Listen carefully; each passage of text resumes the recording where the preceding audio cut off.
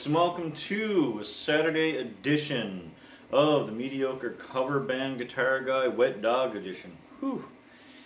It's raining, and he just came in from doing some business. I guess I'm going to have to clean that up. Anyway, quick and easy one this evening for you guys.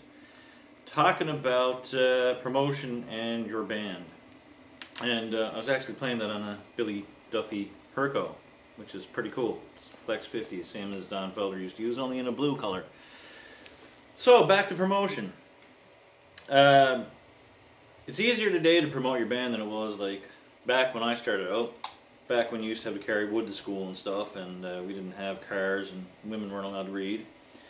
Um, those were long gone years, you know. But um, things have changed now with the advent of your your uh, computer phone. You can take pictures, you can download apps uh, to make great posters and things. When we were coming up, you went and had a band photo taken. And what you would have is like a big poster with this big blank space on the bottom. And uh, yes, seriously, we had to take posters. And then um, you'd write your information in with a Sharpie or something, and then you'd go stick it in the local grocery store where somebody who was selling a Camry would put that over your poster on you. So, uh, or somebody'd rip it down or whatever. That was back in the day, but now everything's a lot easier, and business cards were always a thing, but they're still good to have. I would highly recommend them.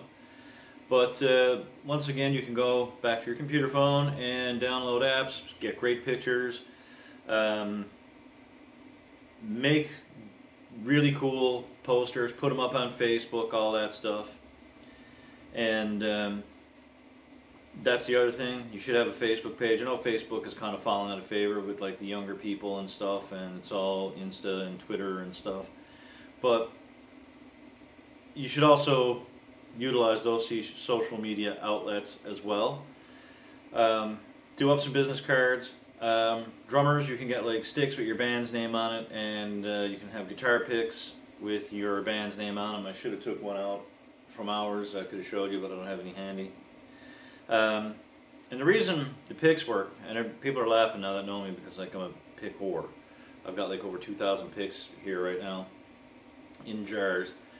Uh, but the thing with picks and cards are different. Like if you got a card, it's getting thrown out, um, or somebody's using it, you know, when they're rolling a joint to help with the filter. Um, with a pick, they're going to stick it in their pocket. When they wake up the next morning, they'll see your band's name on it, um, or drumstick if they manage to carry it home. They don't leave it in the cab or something, and they'll look you up on Facebook because you're going to be on some platform of social media or on on, on the internet. So you can use that. Also, the venue you're playing should have some form of uh, promotional uh, access as well, uh, whether it be their own pages through Twitter, Instagram, uh, or Facebook, or whatever, or website. They should be advertising you as well. If they're not, that's kind of dumb in my opinion, because they're the ones that are bringing you in there. And it's not the old days when they ask you, hey, can your band draw a crowd? The question is, can your club bring in a crowd, you know? Um, so just, just keep that in mind, you know, a nice professional website, you can get them for really cheap um, per month, you know, you're going to have to pay for your domain and all that. Uh, a Facebook page is good, and keep your Facebook page active. Um, a lot of people, and I'm guilty of this one, if you do a private event like a wedding, after the wedding, instead of going, hey, doing a private event tonight, just so you put it there, after the wedding, thank the couple um, for the opportunity to entertain the crowd. And if you did a good job and you feel you did a good job, ask for a referral. They'll put it up there on your on your page and uh, ask for a referral. Um, if you do a private event for an organization, thank the organization after the event is over. If you um, do a Christmas party, thank the people, thank the organizers let people know you're active because if you haven't had your page active in like a year, people are going to think either you're not playing or your band's broken up or whatever, or you're just lazy or something. Keep yourself looking busy, and busy bands get booked. And believe it or not, it's still that way. It's hype. It's like they say about mob, mob mentality. Uh, if your band looks busy, then people perceive you must be good. Um, and I won't go into the whole cheap crap again because I know you're sick of hearing it, guys. Uh, but that's that's pretty much it. It's easy. You don't have to leave your house. You don't have to drive to the grocery store unless you know Mrs. is sending on. Like, oh, I got posters in the car. I'll put one up. Like I said, somebody's selling an '83 uh, Camry. It's going over that.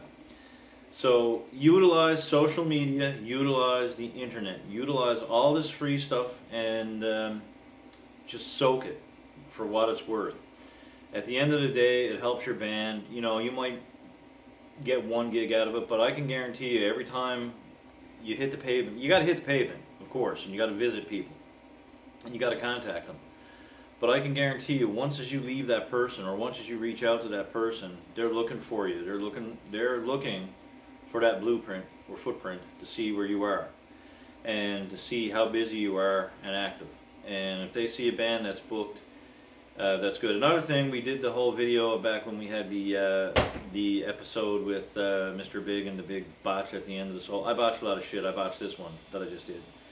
But the fact is that if you're using footage from your phone, it's not always good um, because if you're too close to the PA speakers, you're getting distortion. It's inaudible. You can't hear it if you're too far away and you got a club of drunk people singing, it's going to affect it because people are going to look at it and go, well, that singer is singing like they wouldn't find a key in a locksmith shop or they wouldn't carry tune in a bucket or some shit like that, right?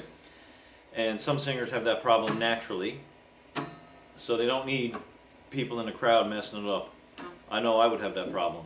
I, I can barely play, but if you, you think my playing's bad, my singing's even worse. They turn my microphone off on me when we're playing. They, they let me do sound check and do the check one too, but it comes off after. But anyway, back to promotion.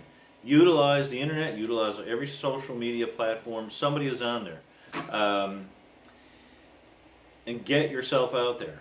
Um, put your videos up. If you're taking videos, you can do stuff in your jam space. If you got a good phone, put it somewhere. Take a video. If you got a good camera, get some video footage. You know, if you can get somebody who's professional to do you a video, and doesn't cost a lot of money, or if you got a lot of money, whatever.